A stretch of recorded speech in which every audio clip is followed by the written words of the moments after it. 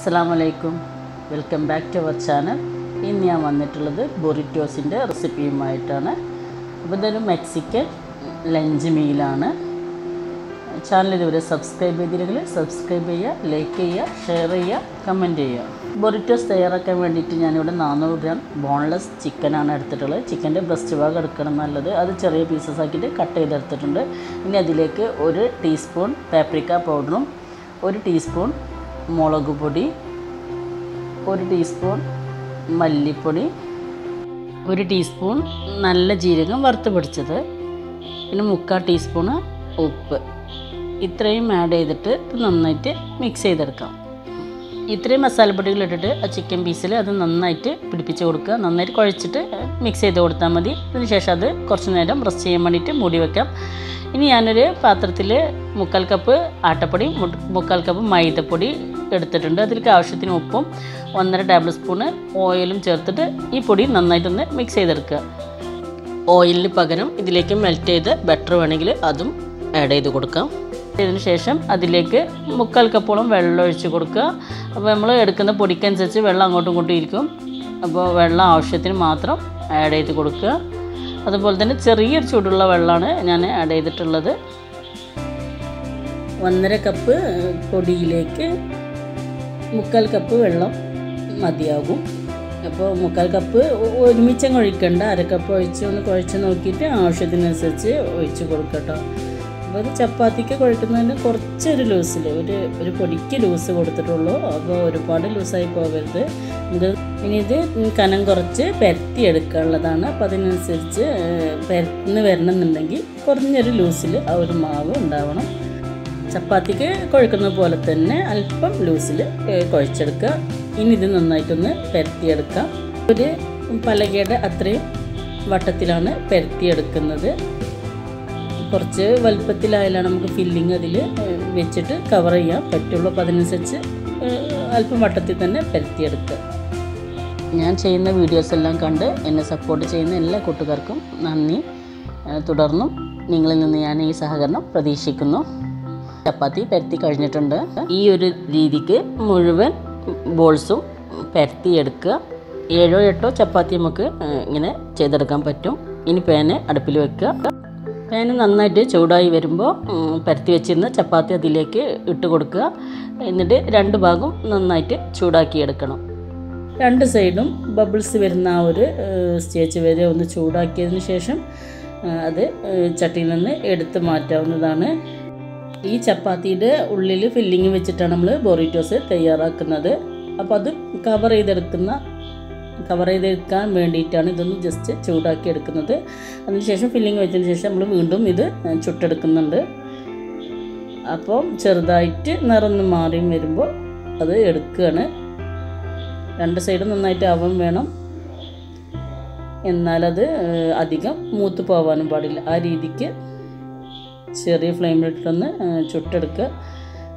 ഇതുപോലെ എല്ലാ ചപ്പാത്തിയും ചുട്ടെടുക്കണം കേട്ടോ. അധികം വേവിച്ചെടുക്കരുത്. എന്നാൽ രണ്ട് ഭാഗം ഒന്ന് ചൂടാക്കി എടുക്കുകയും വേണം. ആ രീതിക്ക് നമ്മൾ പരത്തി വെച്ചിരുന്ന മുഴുവൻ ചപ്പാത്തിയും ചുട്ടെടുത്തു. ഇപ്പോൾ ഇവിടെ ചപ്പാത്തി റെഡി ആയിട്ടുണ്ട്. ഇനി അതിലേക്ക് ഫില്ലിങ്ങിന് വേണ്ടിയിട്ട് കാൽ കപ്പ് പയറ്റിന്റെ കുരുണ്ടല്ലോ പയറ്റും കുരു.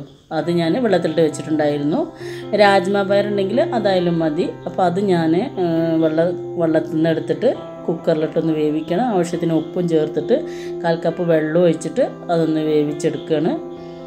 ഇത് ആദ്യം ഞാൻ വെള്ളത്തിലിട്ട് കുതിർത്തിയെടുത്തതാണ് കേട്ടോ പയറ്റും കുരു അതിന് ശേഷമാണ് വേവിച്ചെടുക്കുന്നത്. അപ്പോൾ ആവശ്യത്തിനുള്ള വെള്ളം മാത്രം ഒഴിച്ചിട്ടാണ് ഞാൻ വേവിച്ചെടുത്തത്.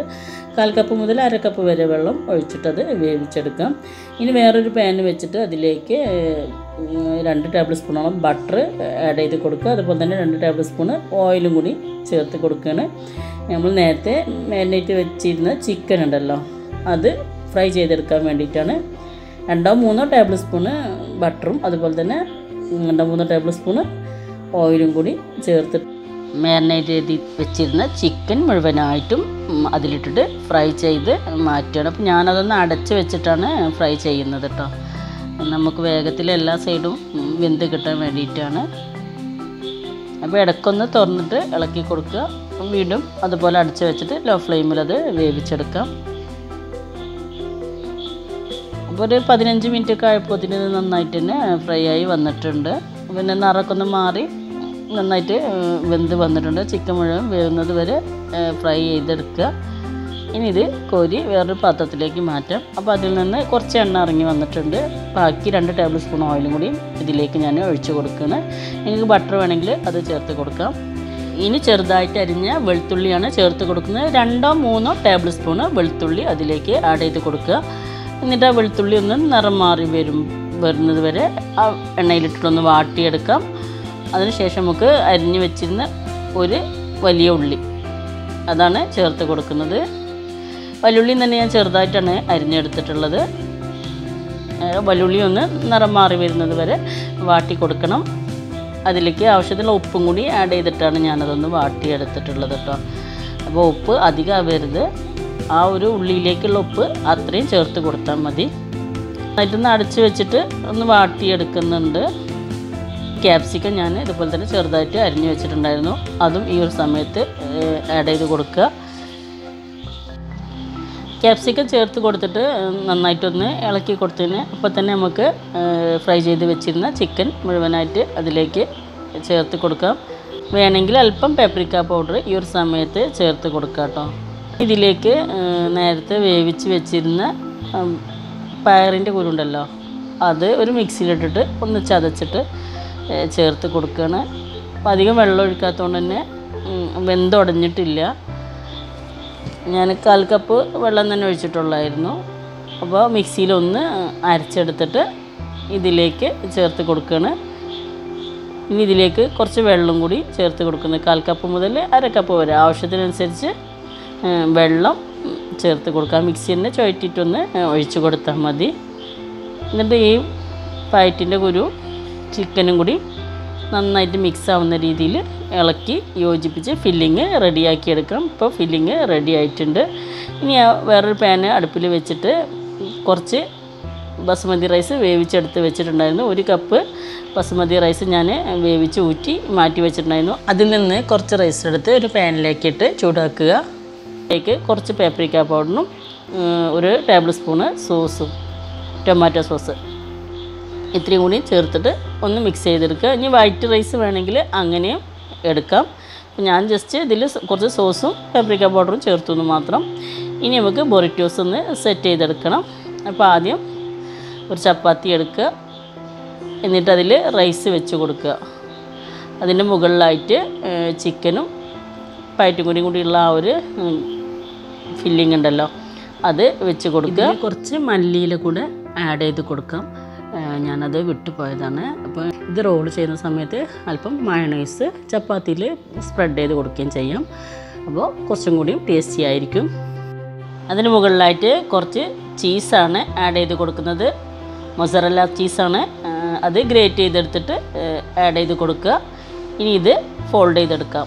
ഫോൾഡ് ചെയ്യുമ്പോൾ ശ്രദ്ധിച്ചിട്ട് വേണം ഫോൾഡ് ചെയ്യാൻ ഫില്ലിങ് അധികമായി കഴിഞ്ഞാൽ നമുക്ക് ഫോൾഡ് ചെയ്യാൻ പറ്റില്ല രണ്ട് സൈഡും മടക്കിയതിന് ശേഷം റോൾ ചെയ്തെടുത്താൽ മതി. ഞാൻ ഒരു നാല് ചപ്പാത്തി വരെ ഇതുപോലെ റോൾ ചെയ്തെടുത്തു. ഇനി ഒരു പാന് ചൂടാക്കിയിട്ട് അതിലിട്ടിട്ട് ഇതൊന്ന് ചൂടാക്കി എടുക്കുകയാണ്. ഈ ബൊറിറ്റോസ് തന്നെ രണ്ട് മൂന്ന് രീതിയിലൊക്കെ ചെയ്യുന്നവരുണ്ട് കേട്ടോ ഫില്ലിങ് വേറെ രീതിയിലും ചെയ്യാറുണ്ട്. ആ ചീസൊന്ന് നന്നായിട്ട് മെൽറ്റായിട്ട് ആ ഫില്ലിങ്ങുമായിട്ട് നന്നായിട്ട് ബൈൻഡായിട്ട് വരും.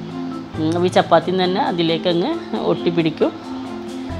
അപ്പോൾ ഇതൊരു ലഞ്ച് മീലാണ് കേട്ടോ മെക്സിക്കൻ ലഞ്ച് മീലാണ് ഈ ബൊറിറ്റോ എന്ന് പറയുന്നത്. അപ്പോൾ ലഞ്ചിന് വേണമെങ്കിൽ അങ്ങനെ തയ്യാറാക്കാം. അല്ലെങ്കിൽ ഡിന്നറിനോ ഒക്കെ വേണ്ടിയിട്ട് നിങ്ങൾക്ക് തയ്യാറാക്കി കൊടുക്കാം. ബൊറിറ്റോസ് പാനിലിട്ട് ചൂടാക്കി എടുക്കുന്നതിന് പകരം ഓവനിൽ വെച്ചിട്ട് ആ ചീസ് ഒന്ന് മെൽറ്റ് ആവുന്നത് വരെ ചൂടാക്കി എടുത്താലും മതി. അതാണ് കുറച്ചും കൂടി ഈസി നമുക്ക് അവൈലബിൾ ആയിട്ടുള്ള ഇൻഗ്രീഡിയൻസ് വെച്ചിട്ടാണ് ഞാൻ ഈ മെക്സിക്കൻ ബൊറോട്ടോസ് തയ്യാറാക്കിയിട്ടുള്ളത്. അപ്പോൾ ഇതിൽക്ക് പ്രത്യേകതരം ചില്ലിയൊക്കെ ചേർക്കുന്നുണ്ട്. സുർക്കിയിലിട്ടൊരു ചില്ലിയൊക്കെ ചേർക്കാറുണ്ട്. പക്ഷേ അതൊന്നും നമുക്കിവിടെ അത്രയ്ക്ക് അവൈലബിൾ അല്ലാത്തതുകൊണ്ട് ഞാനതൊന്നും ആഡ് ചെയ്തിട്ടില്ല. അപ്പോൾ വീഡിയോ എല്ലാവർക്കും ഇഷ്ടമാവണമെങ്കിൽ എല്ലാവരും ഈ റെസിപ്പി ഒന്ന് ട്രൈ ചെയ്ത് നോക്കുക. ഈ വീഡിയോ അത്രയ്ക്ക് അങ്ങോട്ട് പെർഫെക്റ്റ് ആയിട്ട് ചെയ്യാൻ പറ്റിയിട്ടില്ല. അതിന്റെ ചില ഭാഗങ്ങൾ തന്നെ എന്റെ കയ്യിൽ നിന്ന് വിട്ടു പോയിട്ടുണ്ട്. എന്തായാലും ക്ഷമിക്കുക. മറ്റൊരു വീഡിയോയുമായിട്ട് വീണ്ടും വരുന്നവരെ ടേക്ക് കെയർ ബൈ